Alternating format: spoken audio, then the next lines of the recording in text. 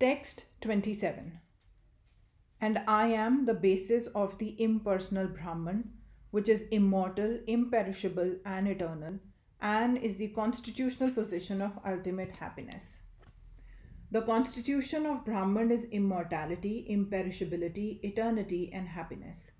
Brahman is the beginning of transcendental realization.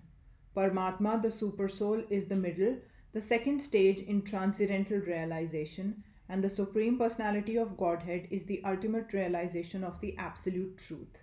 Therefore, both Paramatma and the impersonal Brahman are within the Supreme Person.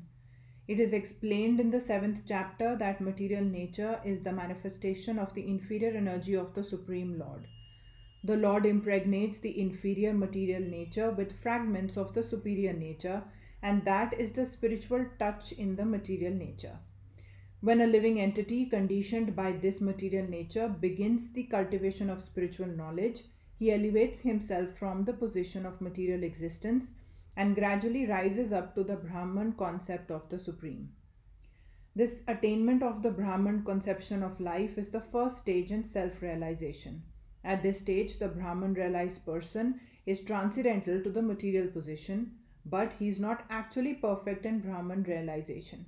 If he wants, he can continue to stay in the Brahman position and then gradually rise up to Paramatma realization and then to the realization of the Supreme Personality of Godhead.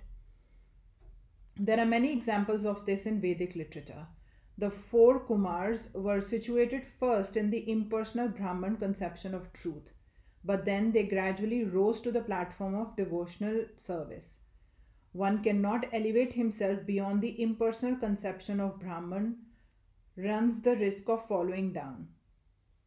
In Srimad Bhagavatam, it is stated that although a person may rise to the stage of impersonal Brahman, Without going further, with no information of the Supreme Person, his intelligence is not perfectly clear. Therefore, in spite of being raised to the Brahman platform, there is a chance of falling down if one is not engaged in the devotional service of the Lord. In the Vedic language, it is also said that one, when one understands the personality of Godhead, the reservoir of pleasure, Krishna, he actually becomes transcendently blissful.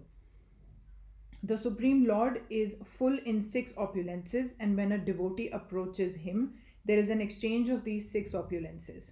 The servant of the king enjoys on an almost equal level with the king. And so, eternal happiness, imperishable happiness, and eternal life accompany devotional service. Therefore, realization of Brahman or eternity or imperishability is included in devotional service. This is already possessed by a person who is engaged in devotional service. The living entity, although Brahman by nature, has the desire to lord it over the material world, and due to this, he falls down. In his constitutional position, a living entity is above the three modes of material nature, but association with material nature entangles him in the different modes of material nature, which are goodness, passion, and ignorance. Due to the association of these three modes, his desire to dominate the material world is there. By engagement in devotional service in full Krishna consciousness, he is immediately situated in the transcendental position and his unlawful desire to control material nature is removed. Therefore, the process of devotional service, beginning with hearing, chanting, remembering, the prescribed nine methods for realizing devotional service should be practiced in the association of devotees.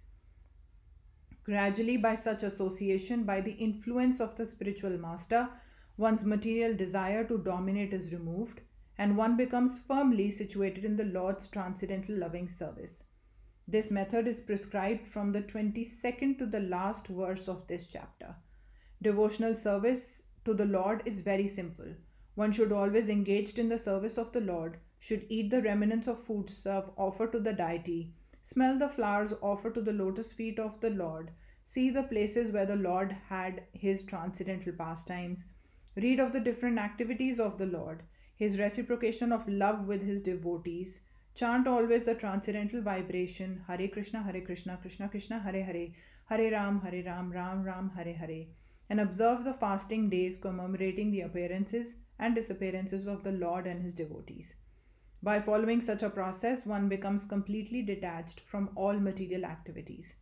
one who can thus situate himself in the Brahma Jyoti or the different varieties of the Brahman conception is equal to the Supreme Personality of Godhead in quality. Thus end the Bhaktivedanta purports to the 14th chapter of the Srimad Bhagavad Gita in the matter of the three modes of material nature.